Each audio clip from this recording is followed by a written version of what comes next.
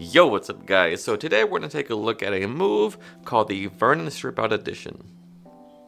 Now even though it's called the Vernon Addition, it wasn't actually Vernon's move originally, it was actually Audley Walsh who invented the mechanics of the move. So unfortunately, Dai Vernon beat Audley Walsh to the chase and published the Vernon Addition in his $20 manuscript in 1932. It wasn't until a few years after that, in 1936, that Audley Walsh published his move in the Jinx magazine. So, you know, this sort of thing has been going on for years. It just it's never going to stop in the magic community, and it's toxic. So let's let's just stop it.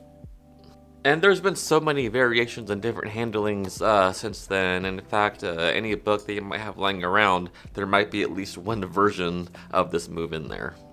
This is because the move is just so versatile, you know, there are so many things you can do with it. It's just uh, it's one of those utility moves that allows you to do uh, so many different things uh, in card magic. So I'm going to teach you uh, sort of a different handling and a different take on this move altogether, and it's by a guy named Larry Jennings. You may have heard of him, I don't know. The move I'm talking about, of course, is the optical add-on, and it's a different take on it, like I said, and I think you'll like it a lot. There's a lot of things you can do with it, and uh, you know what? I've talked long enough, so uh, let's get right into it.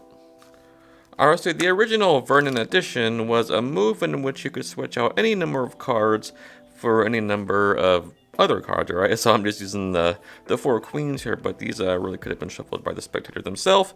And uh, let's say we want to switch these out for, I don't know, the uh, the four aces. If you want to do that, you certainly can.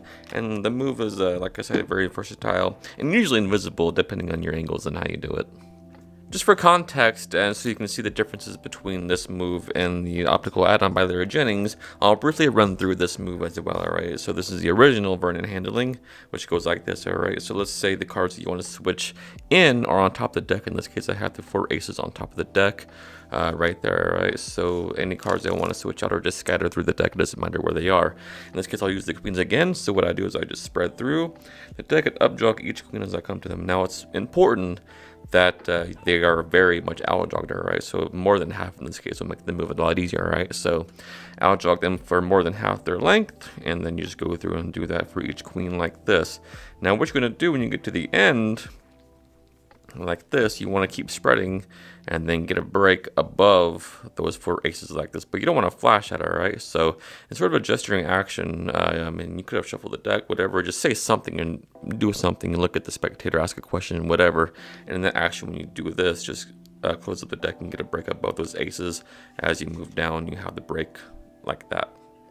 Now at this point, what happens is going to appear as though they just simply uh, strip the uh, queens out like this, you know, like we always do.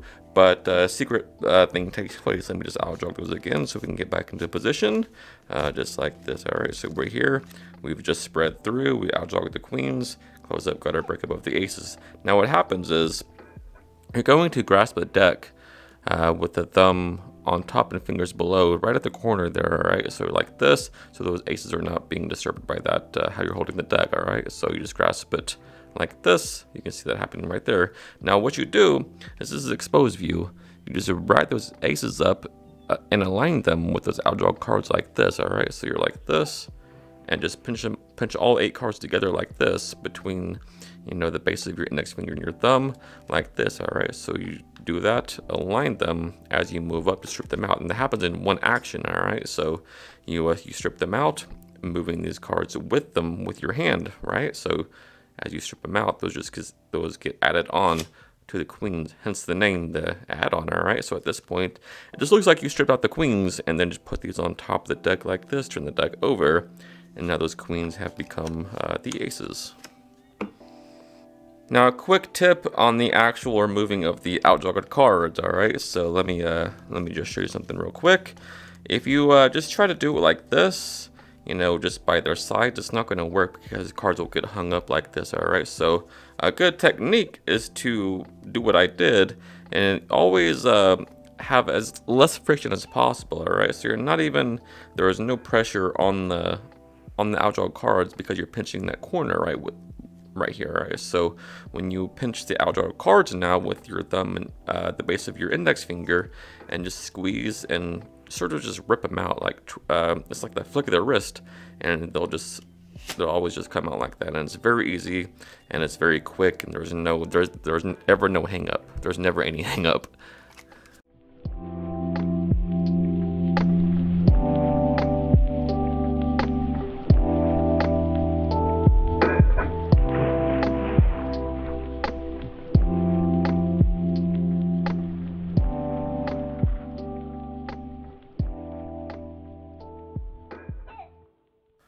Alright, so for this, it's a completely different handling, alright? So, uh, this case, the aces are on top, whatever cards you want to switch in. And in this handling, the participant removes cards from a face down deck, alright? So they can touch them themselves, or you can do it uh, depending on the trick you're doing, alright? But in any case, uh, the first card that gets out jogged must be the fifth card down, alright? So whatever card is below uh, the cards you want to switch in, alright? So I have the aces. So when I start spreading, I want to actually out jog the fifth one myself, alright? So just like as in like a like a demonstration or you know teaching them what to do. Say as I uh, spread cards, just uh, touch one and we'll just outjog them like this as they go by. All right. So the first one was done by me, but then the other three can be done by other people or one person or whatever. Now you keep spreading through and people just touch cards like this and you just outjog them as they go by, alright? So four random cards has been out outjogged, alright? And they really are random cards at this point. So what you're to do is as you close up the deck, what you want to do is take your thumb here, the pad of your thumb, and you want to uh, push down on the corner of uh, the aces, alright? So you can see the four aces above that first card there. And what happens is when you push down and spread over, you can see uh, the aces as a block being pushed over uh, just about just above that first face down card right there, right? So you're right here. If you just squeeze and you push, you can see that block of aces just get pushed over uh, as a uh, right above that face down card. So what you do is you close up, you just get a pinky break uh, below those uh, four aces there. It happens automatically. There's no trick about it. You just push and just squeeze and push and it happens automatically, all right? So as you close up, just get a break below uh, those four aces. Now, it's going to appear as though you just come over and let's strip the cards out like this and sort of tap them on the deck like this. But what happens is you add on those cards, uh, those car uh, aces above the cards, all right? So again, we're here. and we just do this again for you. All right, so we are spreading through. I'll jog that first card below the aces. They touch uh, three more like this. And again, as you close up, just take your thumb, squeeze over, and you'll get that break under the four aces as you do that, all right? So the break and the doing this happens all in one motion, all right? So as you close up and the break is exactly when you do the secret move. And the secret move is this.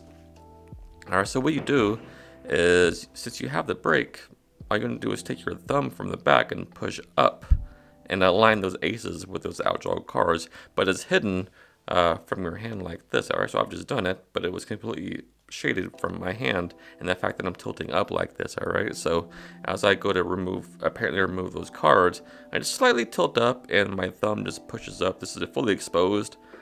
The aces aligning them with those cards as you strip them out like this and then sort of tap them on there. And what you have now is an eight card block uh, with the aces uh, hidden behind those cards. I'll do that one more time so you can get a sense of the flow as it happens, alright? So spread four cards, those are the aces. Uh, as a demonstration, I'll jog that first card uh, below them. Say just touch three more, boom, boom, boom, they touch the three more cards. Now, as you close up, get uh, push over, get your break. At that same moment as when you start to strip them out, alright? So uh, fully exposed once again, you're here. As you strip them out, your thumb just pushes those cards over and then grabs all eight cards like this, taps them on the deck and turns them face up, and you still have a pinky break below all eight cards.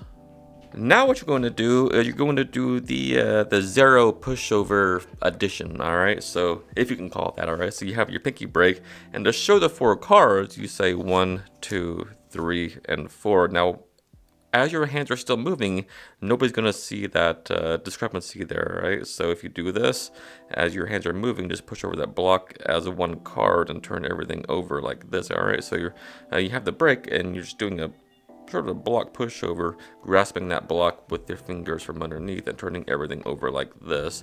But in fast motion, it's completely camouflaged, all right? So you're like this, showing the cards around like this, and look how hidden that is. So once again, here you have your break under the eight face-up cards, uh, four of which are the aces hidden behind secretly uh, the four random cards they chose, alright? So uh, you want to co constantly be moving your hands like this as you do the counter, right? So as if everything is in a blur kind of, alright? So you're like this, one, two, three. On the fourth one, it's a block pushover. You just grasp them all like this and turn everything over as a as four cards, and that is uh, that's it. Now, you don't have to uh, turn the cards face up and, show different cards and they change the aces. I just did that for effect, alright? So, it just depends on the trick that you're doing, alright? So, you can keep everything face down and still have the same effect, alright? So, again, everything is the same, alright? Uh, go through, uh, the four cards are out jogged. The first card, obviously, being the card that you chose, but nobody ever really remembers that and cares about it, alright? So, again, everything is the same.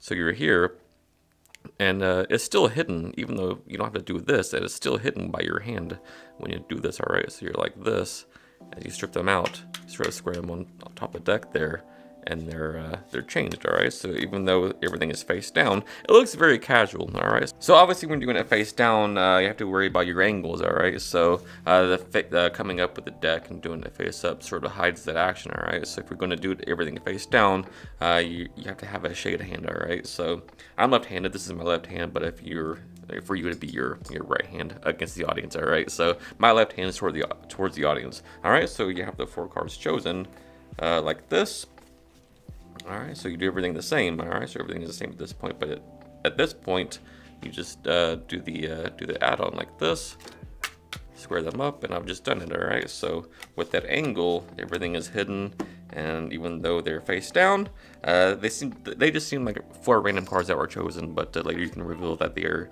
the aces or whatever you want to do. It's completely up to you. That's why it's so versatile because there there's many things you can do with the move. Alright, so that'll do it for today's video. Um, I really had a lot of fun uh, sort of doing a deep dive into this move, and maybe in future videos I'll do the same thing, uh, sort of doing a deep dive into other moves that are, you know, well known throughout the literature, uh, such as this one, alright? So, yeah, until next time, Alright guys, so as always, thank you so much for taking the time out of your day to watch this video. I hope that you learned something new and uh, it's my pleasure to uh, make these videos for you to teach you things that you might not know. So if you got value out of it, uh, do me a huge favor and hit that like button and sub to the channel because it helps me out more than you might think. Until next time, happy practicing. I love you guys.